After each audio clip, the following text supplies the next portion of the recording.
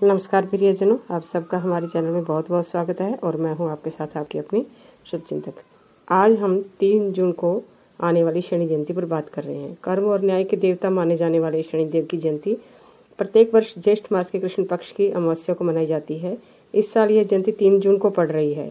इस दिन सोमवार होने से यह सोमवती अमावस्या के रूप में मनाई जाएगी।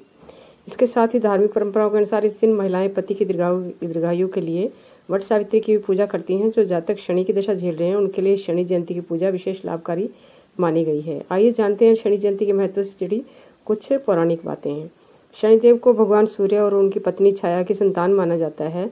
वैसे तो नौ ग्रहों के परिवार में इन्हें सबसे क्रूर ग्रह माना जाता है, लेकिन असल में शनि न्याय और कर्मों के देवता हैं। यदि आप किसी का बुरा नहीं सोचते और किसी के साथ धोखाधड़ी नहीं करते और किसी पर कोई जुल्म या अत्याचार नहीं करते यानी किसी के बुरे का, काम में नहीं है तो आपको शनि से घबराने की आवश्यकता नहीं है। शनिदेव बड़े मनुष्यों का कभी बुरा नहीं करते हैं।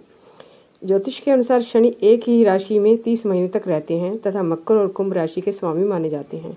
शनि की महादशा उन्नीस वर्षों तक रहती है। शनि की गुरुत्वाकर्षण शक्ति पृथ्वी से पचानवे गुना ज़्यादा मानी जाती है। माना जाता है कि इसी गुरुत्व बल के कारण हमारे अच्छे और बुरे कर्म का लेखा जोखा शनि महाराज के पास पहुँचता रहता है और वह इसी जन्म में हमें कर्मों का फल भी देते हैं। शास्त्रों में शनि जयंती के दिन शनि देव की कृपा प्राप्त करने के लिए कुछ सिद्ध उपाय भी बताए गए हैं, जिनके मुताबिक ऐसे कुछ कार्य हैं जिन्हें भूल कर भी कभी नहीं करना चाहिए। जैसे इस दिन भूल कर भी बाल और नाखून नहीं काटने चाहिए। दरअसल शनि जयंती के दिन इन कार्यों के अशुभ प्रभाव के चलते अनिवार्य रूप से इनको निषेध सूची में रखा जाता है। ऐसी मान्यता है कि शनि जयंती पर बाल और नाखून काटने से शनिदेव रूठ जाते हैं, जिससे आपको आर्थिक तंगी या उससे जुड़ी समस्याओं का सामना करना पड़ सकता है। इसके अलावा शनि जयंती के दिन किसी भी प्रकार के नए कपड़ों की खरीदारी करने से भी बचना चाहिए।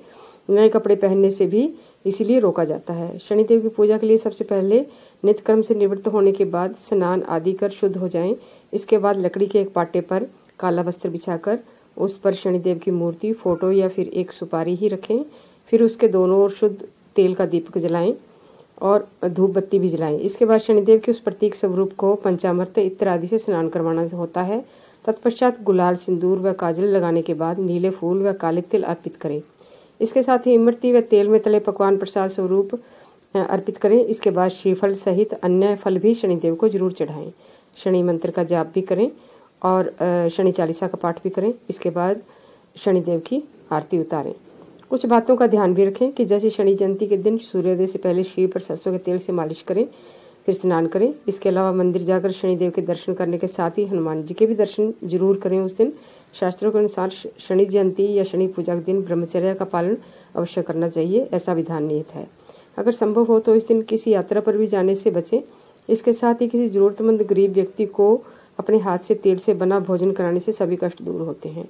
न्याय पर शनिदेव को प्रसन्न करने के लिए इस दिन आप गाय व कुत्तों जैसे जीवों को भी तेल से बने पकवान खिलाकर पुण्य प्राप्त कर सकते हैं। अपने से बड़े बुज़ुर्गों की सहायता करने में भी लाभ होता है।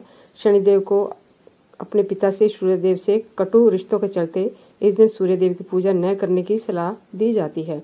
खास बात है, हमेशा शनिदेव की प्रतिमा या तस्वीर को देखते समय उनकी आँखों में नहीं देखना चाहिए। शनिदेव को तेल इसलिए चढ़ाया जाता है कि पौराणिक कथा के अनुसार हनुमान जी शनिदेव को लंकापति रावण की कैद से मुक्त कराया था। ऐसे में लगातार कैद में रहने से उन्हें काफ़ी पीड़ा हो रही थी तो हनुमान जी ने उनके शरीर पर तेल का लेप लगाया। इससे शनिदेव को काफ़ी राहत मिली, इसलिए हनुमान जी की पूजा करने से शनि दोष से हो रही पीड़ा से भी शांति मिलती है।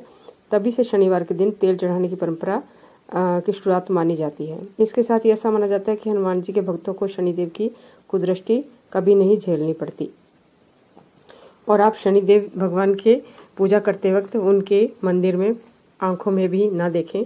और विशेष उपाय जो आप अपनी नौकरी से संबंधित करेंगे सायकाल में पीपल के वृक्ष के नीचे जाकर, पीपल के वृक्ष के नीचे चौमुखी दीपक जलाएँ, वहाँ हनुमान चालीसा का पाठ करें। और पीपल की हर तरह से पूजा करें, मिठाई से, फल फूल से और काले तिलों से वहाँ पूजा करें। और हनुमान चालीसा का पाठ करने के साथ ही आप शनि चालीसा का भी पाठ करें। शनि चालीसा का पाठ करते समय आपको जो चौमुखी दीपक है, उसमें तेल डाला हुआ है, उसमें अपनी उल्टे हाथ की मध्यमा उंगली जो है, उसको उसमें डुबोए रखना है जब तक आप शनि चालीसा का पाठ करते हैं।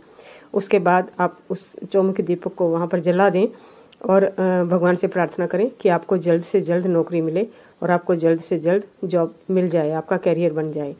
तो भाई बहनों आपको उम्मीद करती हूँ कि ये सारी जानकारी पसंद आई होगी। अगर आपको पसंद आई हो तो कृपया लाइक करें, शेयर करें, सब्सक्राइब करें और कमेंट बॉक्स में भी आप जय श्रीदेव अवश्य लिखें। धन्यवाद।